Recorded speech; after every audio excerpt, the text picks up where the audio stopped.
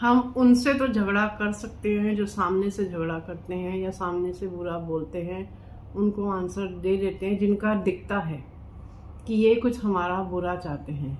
लेकिन उनका क्या करें, जो मुस्कुरा कर छल करते हैं, जो कि चेहरे पर तो मुस्कुराहट रखते हैं, लेकिन अंदर से धोखा करते हैं, अंदर से बेईमानी करते हैं, उनका क्या करें?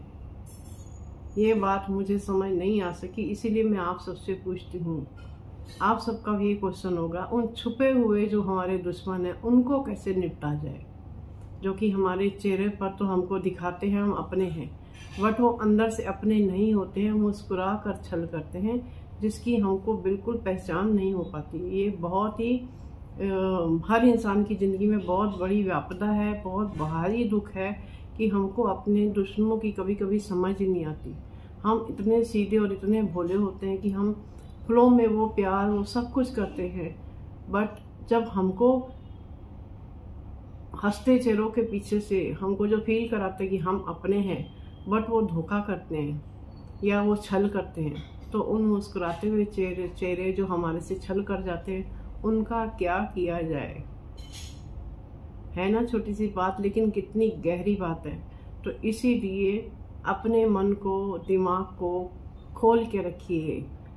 आप पॉजिटिव भी सोचिए और साथ में नेगेटिव भी सोचिए। किसी इंसान को पढ़ना चाहते हैं तो उसका नेगेटिव पन भी ध्यान में रखिए और पॉजिटिव पन भी ध्यान में रखिए। चार, अपने दिमाग की और अपनी आँखें दोनों को खोल के रखिए, दिल की भी आँखें खोल के रखिए। तब आप उन लोगों को पहचान सकेंगे और धीरे धीरे उनसे थोड़ी थोड़ी दूरी बना के रखेंगे, ताकि आप धोखे ना खा सकें। या आपके मन को जो तकलीफ़ होती है, वो ना सहन करें। जब तक हमारी मन की आँखें बंद रहती हैं, दिमाग की आँखें बंद रहती हैं, हम सिर्फ़ इमोशनल वे से, प्यार भरी आँखों से उनको देखते हैं और जब वो हमारे से छल कर जाते हैं तो हम बहुत दुखी होते हैं। तो इससे अच्छा यही है कि हम उन मुस्कुराते हुए चेहरे जो हमारे से छल कर जाते हैं, उनसे बचने के लिए थोड़ा सा अपने को स्ट्रांग बनाइए, थोड़ा सा अपने आप को ताकतवर बनाइए और बोलते ना हर किरदार को जो किरदार आपके सामने वो दिखा रहा है उस किरदार के किरदार के पीछे तक जाने की कोशिश कीजिए समझने की कोशिश कीजिए फिर आप ज़िंदगी जी पाएँगे। नहीं तो फिर आप हर समय यही बोलते रहेंगे जी मैं तो बड़ा करना लेकिन मेरे नाल धोखे होंगे नहीं ऐसे होते हैं ना।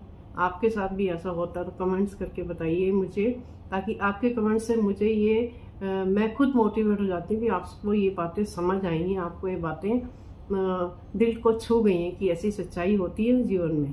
तो ज़रूर मुझे कमेंट्स करके बताइएगा कि ये मुस्कुराते हुए चेहरे जो छल करते हैं, उनसे कैसे बचा जाए, उनको कैसे समझा जाए, ये टॉपिक अच्छा लगे तो ज़रूर मुझे बताइएगा। थैंक यू वेरी मच जी। गॉड ब्लेस यू खुश रहिए, मस्त रहिए और प्यारे प्यारे वीडियो लवली टॉक्स देखिए और मुझे ज़रूर कमेंट्स करके बताइए। बाय